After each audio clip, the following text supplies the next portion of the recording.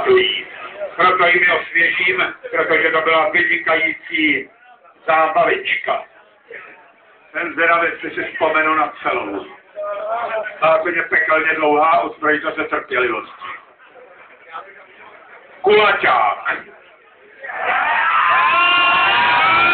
Když napadl první sníh, místo jízdy na saních, šli jsme radši do hospody, na nějaký sody. Potom, ani nevím jak, stál tu náhle kulaťák. My ve sněhu na hromadě, helmič, vesník, hroší mládě. Jen brutální šofré stál, zvraceje fernet opodál. Tu, kde jsem vzala, tu jsem vzala, kuchařka z bufetu nad námi stála.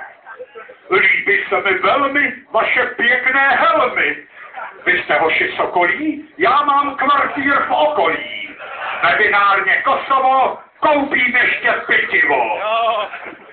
A už kosáči baba to roztáčí.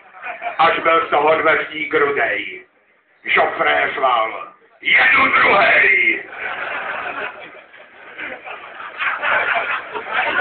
Pak někde venku ztratili jsme však dveřníka. Ve vánici jsem zahlíd, jak vležena říká. Baba ale měla navrch, jako by nic poudá. Doma si dáme s dcerkou čouda. Je to šapec, sedmnáct let. Bude mít radost, by jak by smet. Ještě, že už tam dveřník nebyl. Šofré řval. Já nebyl, něco říkalo, radši strhni. Aby však byla míra dovršena, už odmyká doma žena.